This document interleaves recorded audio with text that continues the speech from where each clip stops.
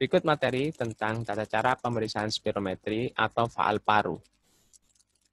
Dokter memasuki ruang pemeriksaan yang telah ada pasien di dalamnya. Ini adalah skenario-nya.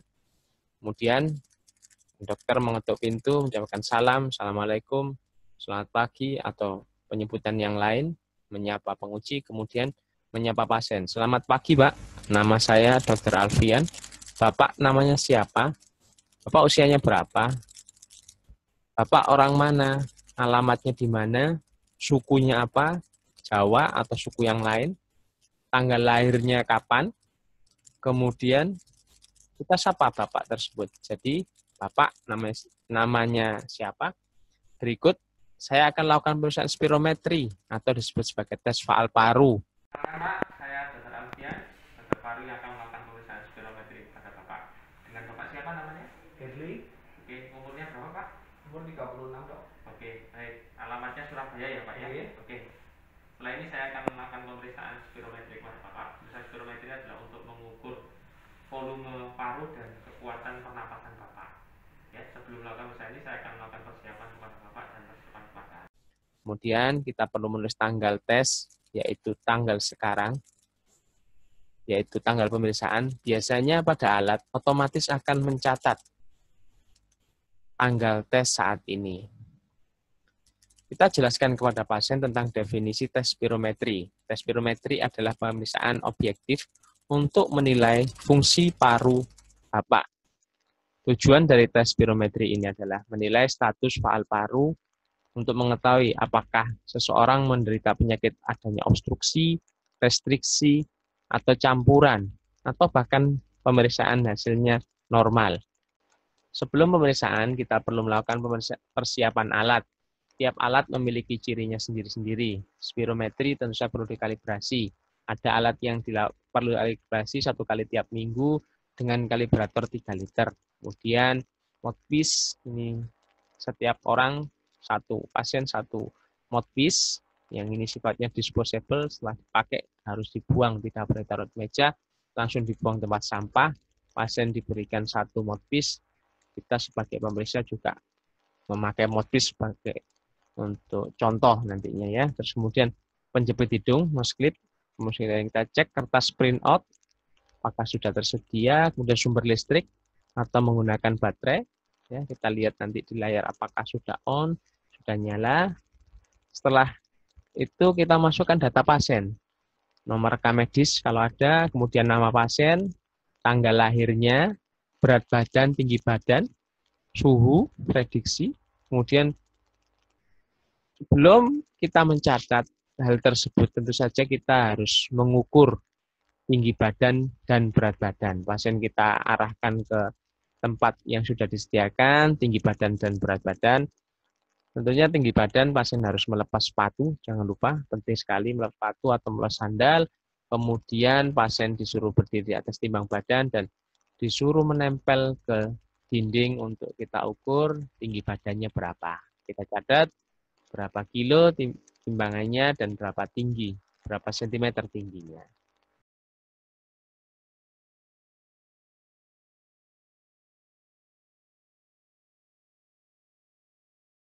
badan pasien. Coba silakan Pak. Ukur tinggi badan. Pasien berdiri tegak, ya. Kemudian melepas sepatu, lalu kita mengukur tinggi badan pasiennya. Oke ya, sudah cukup Pak. Terima kasih. Tinggi badannya 173. Ini adalah kalibrator. Kemudian ini adalah alat autospirometri. Ini adalah pneumatograf dan di ujungnya terdapat mouthpiece satu pasien satu mouthpiece kemudian ini adalah penjepit hidung siapkan mouthpiece yang lain dan juga tisu.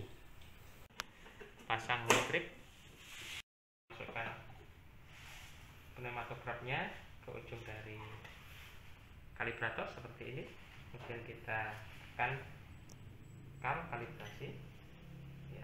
Kita lakukan pendorongan dari kalibrator sampai dua kali mengikuti instruksi yang ada di alat. Suhu pada ruangan ini adalah 27 kita juga perlu mengenali alat masing-masing bahwa alat itu yang penting pemeriksaan adalah FVC, SVC, FEV1, EF, FEF 2575, dan ada pemeriksaan satu lagi MVV. Pada pemeriksaan kali ini ya yang kita perlu periksa cukup dua manuver yaitu dengan slow dan force dengan cara yang lambat dan cara paksa. Nanti akan ada keluar indikator tentang FEV1, FF2575. Itu untuk pemeriksaan FEV kita tidak lakukan. Kemudian setelah persiapan tersebut kita lakukan persiapan kepada pasien seperti yang sudah awal kita sebutkan bahwa mengukur tinggi badan, lepas sepatu, kemudian berat badan. Pasien disarankan untuk melonggarkan ikat pinggang, kemudian diminta untuk ke kamar mandi bila ingin kencing, tidak boleh menahan kencing. Ya. Tanyakan tentang syarat faal paru sebelum pemeriksaan spirometri ini dilakukan. Pertama, apakah Bapak merokok? Ya atau tidak. Kemudian kapan terakhir merokok? Dipersyaratkan bahwa maksimal satu jam yang lalu pasien boleh masih boleh merokok sebelum dilakukan spirometri. Kemudian apakah Bapak minum alkohol? Kalau iya, kapan terakhir? Maksimal 4 jam yang lalu yang masih diperbolehkan. Kapan latihan berat terakhir? Maksimal 30 menit yang lalu. Jadi pasien setelah datang dari pemeriksaan di ruang pemeriksaan spirometri ini tidak boleh langsung diperiksa, tapi berikan waktu istirahat paling tidak 30 menit baru dilakukan pemeriksaan spirometri. Bapak apakah makan kenyang? Kapan terakhir makan? Disebutkan bahwa maksimal dua jam yang lalu. Jadi tidak boleh setelah makan langsung diperiksa. Karena itu akan mengganggu hasil pemeriksaan. Kemudian pasien mungkin menggunakan terapi inhalasi, inhaler. Kita perlu tanya obat apa? Kan kapan terakhir?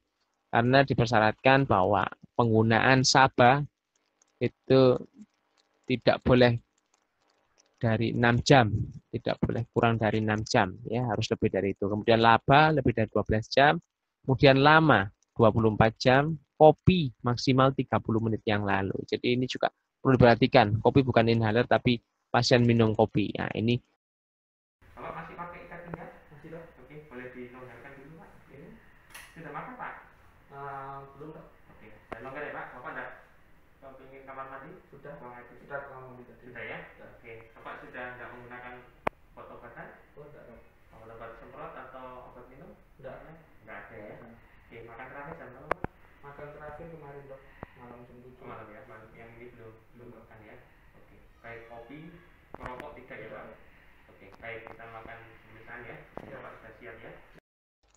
Kemudian kita menjelaskan kepada pasien tentang prosedur. Ini Bapak, nanti Bapak saya akan lakukan pemeriksaan spirometri ini. Bapak akan melakukan tes dan bernapas melalui alat ini. Napas melalui mulut, hidungnya nanti ditutup, baik dipencet dengan tangan atau menggunakan nose clip atau klip hidung. Ini alatnya ya Pak, Bapak bisa lihat. Kemudian Bapak nanti bernapas menghembuskan napas dan menghirup melalui alat ini tidak boleh bocor. Jadi bibir harus mengatup dengan rapat alat ini, mouthpiece ini. Mouthpiece ini tidak boleh bocor. Mouthpiece ini khusus untuk Bapak, ini baru ya. Tidak boleh bocor. Nanti Bapak memulainya harus tepat. Setelah hembusan sekali hisap, sekali tiup. Jadi tidak boleh ada sekali menghisap tambahan atau meniup tambahan. Jadi sekali hisap, tarik nafas, kemudian tiup sekali juga. Gitu ya. Tidak boleh batuk. Ya, selama pemeriksaan Bapak harus maksimal, optimal dalam melakukan pemeriksaan spirometri ini. Nanti kita akan ulangi 3 sampai 4 kali tentu saja untuk kita mengetahui hasil yang paling baik. Kemudian kita akan memilih yang terbaik. melalui mode sini ya. Bapak bernapas mengikuti instruksi saya. Bernapasnya hanya dua, tarik napas dan menghembuskan.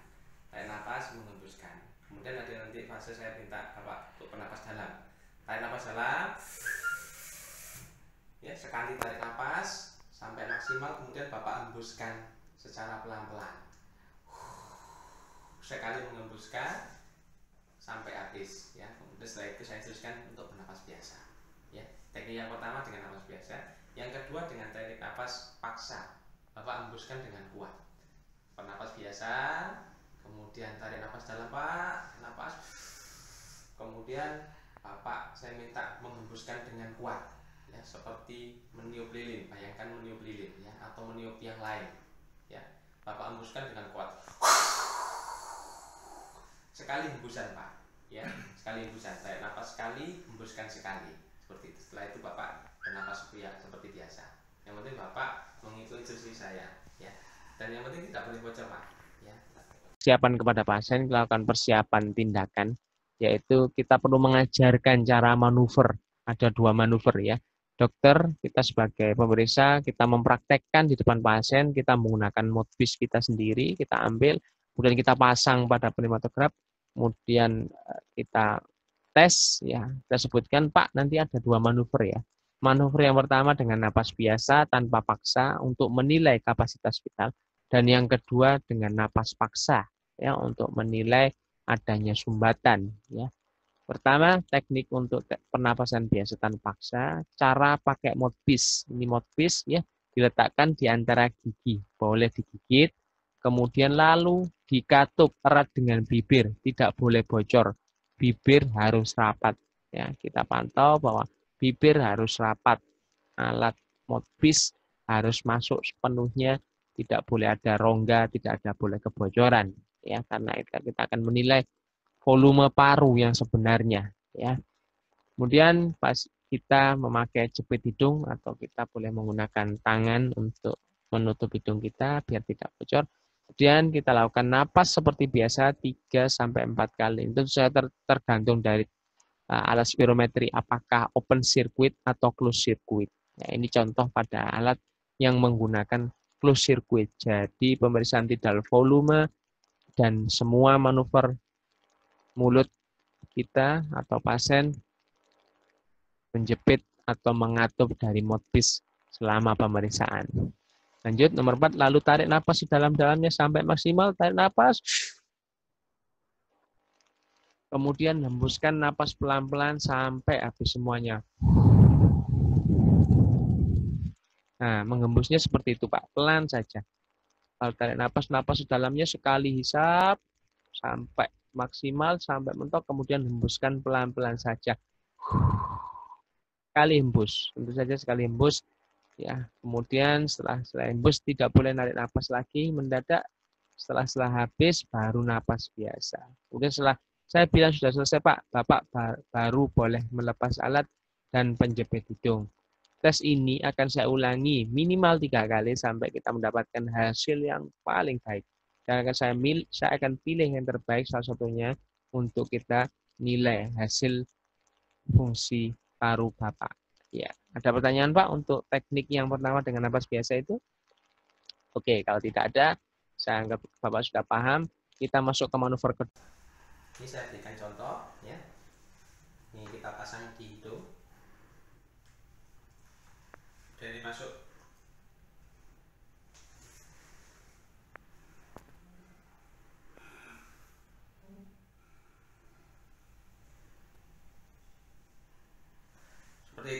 Yang kedua, manuver yang kedua napas paksa saat mengembuskan untuk menilai kapasitas vital paksa dan volume expirasi paksa detik pertama. Caranya sama, bersama dengan yang pertama. Cara yang pertama menggunakan modbis sama, digigit dengan dengan gigi lalu dikatupkan dengan bibir, tidak boleh dibocor dan harus rapat. Dan pakai penjepit hidung sama, kemudian napas seperti biasa, dengan teknik close circuit, ya napas biasa, sedot, sebut, sedot, sebut. Lalu tarik napas dalam-dalamnya sampai maksimal, sedot, sampai maksimal kemudian hembuskan dengan cepat secepat-cepatnya dan sekuat-kuatnya. Ibarat meniup lilin atau bapak boleh ibaratkan meniup kompor sampai habis sekali sedot sekali hembus. Semakin cepat dan semakin kuat semakin bagus. Oke saya contohkan. Tarik nafas tarik nafas biasa. Tarik nafas hembuskan maksimal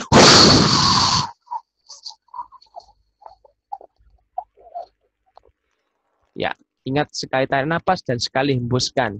Hembuskan minimal sampai 6 detik. Nanti saya akan beritahu apa-apa Bapak kalau sudah sampai 6 detik, kadang alat ini bisa membunyikan ada ada alarm tertentu. 6 detik nah itu nanti bisa Bapak boleh berhenti. Atau saya akan bilang Pak sudah selesai. Nah,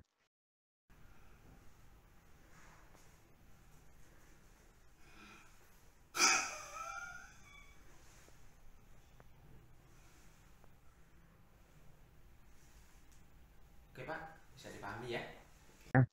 Yang perlu Bapak ingat ini tidak boleh batuk Pak selama tarik nafas atau menghembuskan karena adanya batuk itu akan mengganggu dari hasil ya. Tarik nafas dalam dilakukan setelah mengembuskan napas biasa.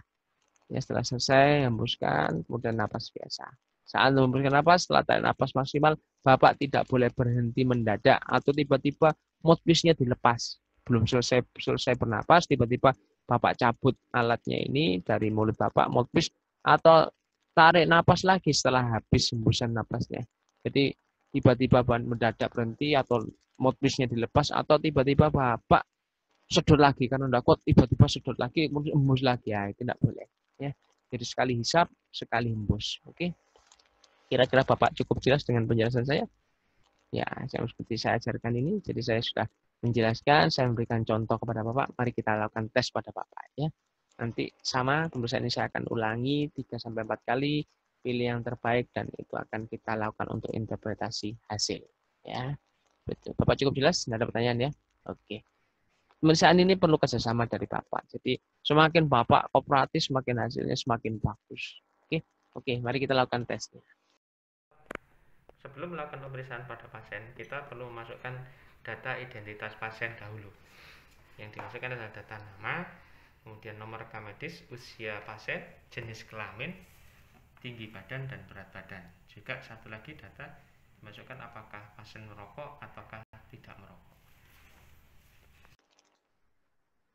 saat melakukan pemeriksaan kita perlu perhatikan bahwa kita memperhatikan uh, pasien itu jangan melihat layar dari spirometri, tapi kita amati pada pasien teknik menghembusnya apakah betul inspirasi-inspirasi, kemudian kita amati apakah ada kebocoran, kemudian apakah ada pasien ada usaha napas di luar napas inspirasi-inspirasi yang seharusnya mengikuti tindak instruksi kita. Nah, kita perhatikan ya, Durante melakukan pemeriksaan spirometri. Ya, lakukan 3 sampai 4 kali dengan hasil maksimal.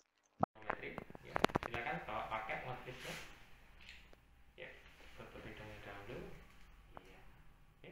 Jangan sampai bocor. Yang perlu kita amati adalah tepi dari bibir. Jangan sampai ada yang bocor. Ya, oke. Silakan bapak tarik napas biasa. Ya, oke. Saya pencet start. Oke, silakan dimulai pak. Tarik napas biasa. Tarik napas biasa. Siap-siap tarik napas dalam pak. Tarik napas dalam. Hembuskan pelan-pelan. Buang keluarkan pelan-pelan sampai maksimal kemudian bapak tarik nafas biasa. Ya sampai maksimal terus. Oke? Ya tarik nafas biasa. Oke. Ya sudah selesai pak. Pasang motifnya oke tarik nafas biasa pak. Tiga kali tarik nafas biasa. Tarik nafas lagi. Ya setelah menghembuskan tarik nafas dalam. Sedot maksimal hembuskan dengan kuat pak terus terus. Usahakan jangan batuk pak terus terus. Sekali napas. Sekali hembus. Oke terus terus terus terus terus. Oke tarik napas biasa. Oke ya. Tarik napas biasa. Oke? Mati. Setelah pasca tes, lepas mouthpiece ya, Bapak. Saya akan berikan tisu. Ya, jangan taruh mouthpiece ini di atas meja. Kertas mouthpiece ini Bapak boleh ambil dengan tisu ini, kemudian Bapak bungkus buang di di tempat sampah. Yang penting pneumokatograf pneumotaknya ini tidak boleh dilempar, Pak. Diletakkan perlahan di atas meja. Ya. Ini karena ini alat yang sensitif dan sangat mahal. Kemudian tanyakan kepada pasien efek samping yang mungkin dialami oleh pasien, misalkan batuk, pusing, rasanya kepala keparing atau yang lain-lain yang itu kira-kira akan mengganggu uh, pasca operasi, pasca pemeriksaan tes ini ya. Tes yang bagus akan memenuhi dua syarat yaitu acceptable dan reproducible. Oke, setelah keluar kita lakukan mungkin kita berikan print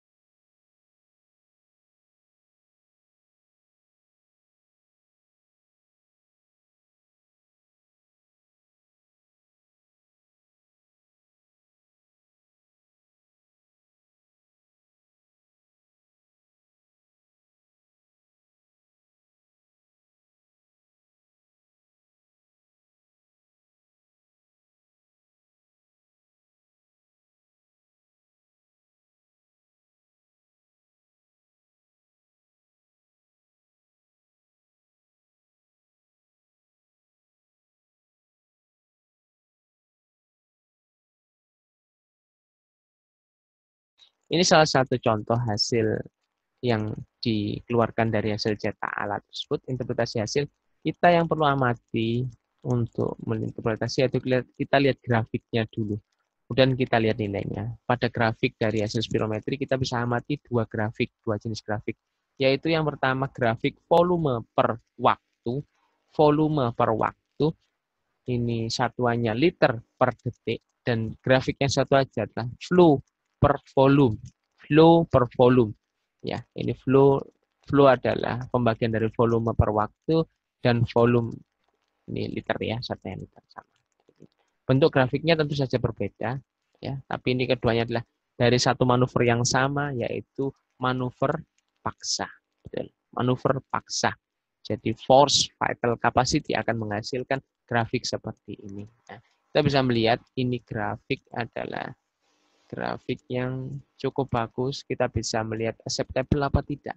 Bahwa grafik ini disebut acceptable apabila. Kita bisa lihat di sini mulainya awalnya bagus ya memulai sesuai dengan instruksi. Kemudian kita bisa melihat ada puncak ya ada puncak. Kemudian waktu pasien expirasi kita bisa melihat expirasi hu ini mengembuskan ada puncaknya expirasi kemudian sampai akhir ini grafiknya mulus ya. Grafik yang mulus tidak ada artefak tidak ada batuk yang menunjukkan gambar batuk seperti seperti grafik artefak seperti itu. Kemudian tidak berhenti mendadak ya. Tidak berhenti mendadak sampai akhir ya. Sampai akhir.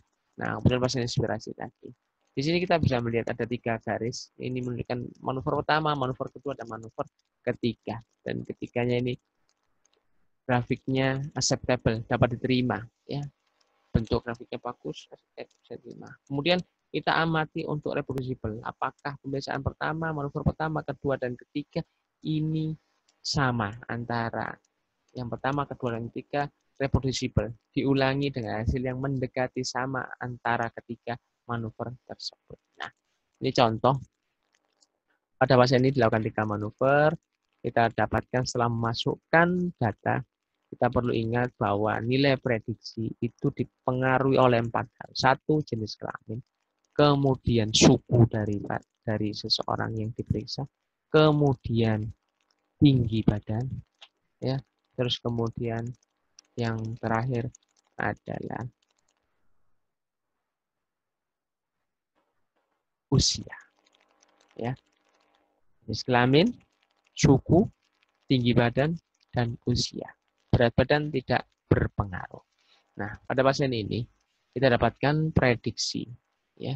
Dari setelah kita masukkan empat faktor tadi, kita lihat faktor prediksinya kita menggunakan referensi apa? Apakah Pneumobile 1992 ataukah yang lain ya.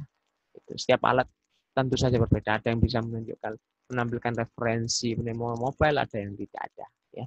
Atau menggunakan Thailand atau Cina atau India atau yang lain atau Amerika atau Eropa itu tentu saja berbeda. Kita lihat di sini bahwa FEV1 hasil prediksinya 2300, kemudian FVC 2500, tentu saja mililiter, ya, satu mililiter. Dapatkan FEV1 per FVC 92 persen. Oke. Manuver pertama, manuver kedua, dan manuver ketiga. Manuver pertama dapatkan dengan hasil 2000, dengan FVC 2300. Nah, ini persentasenya 86, 92, dengan FEV1 per FVC 86. Manuver yang kedua dapatkan 2100 dengan persen prediksi 91 dan FVC 2280 militer dengan prediksi 91,2 persen dengan FEV1 per FVC rasionya 92 persen. Yang manuver ketiga 2050 dengan persen prediksi 89 dan FVC 2350 dengan persen prediksinya 94 persen dan FEV1 per FVC rasio 87 persen. Oke, bagaimana interpretasi menurut Anda? Mana yang Anda pilih nilainya? Saja Anda pasti berpikir, dan mengatakan bahwa ini hasilnya normal. Tidak ada obstruksi. Setuju? Oke, tidak ada obstruksi. Dan tidak ada, tentu saja tidak ada restriksi. Oke. Mana yang Anda pilih? Dari yang ketiga ini. Ini adalah mempengaruhi dari reproducibilitas dari masing-masing manuver. Oke. Oke, itu saja dari saya. Semoga bermanfaat. Sukses untuk Anda. Sukses untuk Anda semuanya. Sukses untuk Anda semuanya, lulus semuanya tanpa mengulang. Oke, terima kasih. Assalamualaikum warahmatullahi wabarakatuh.